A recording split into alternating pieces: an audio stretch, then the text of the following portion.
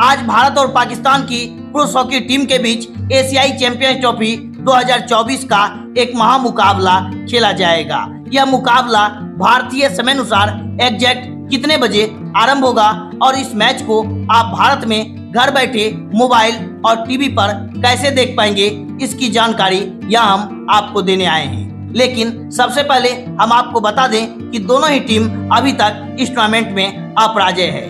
भारत ने चीन Japan, Malaysia और दक्षिण कोरिया को हराकर पहले ही सेमीफाइनल में अपना स्थान पक्का कर लिया है। वहीं पाकिस्तान की टीम चीन और जापान को हराकर आ रही है। अभी पॉइंट टेबल में भारत की टीम 12 अंक के साथ पहले स्थान पर काबिज है तो वहीं पाकिस्तान की टीम 8 अंक लेकर दूसरे स्थान पर है और पाकिस्तान का भी सेमीफाइनल खेलना तय है। आज भारतीय समय अनुसार दोपहर एक बजकर तीस मिनट पर यह मुकाबला आरंभ होगा।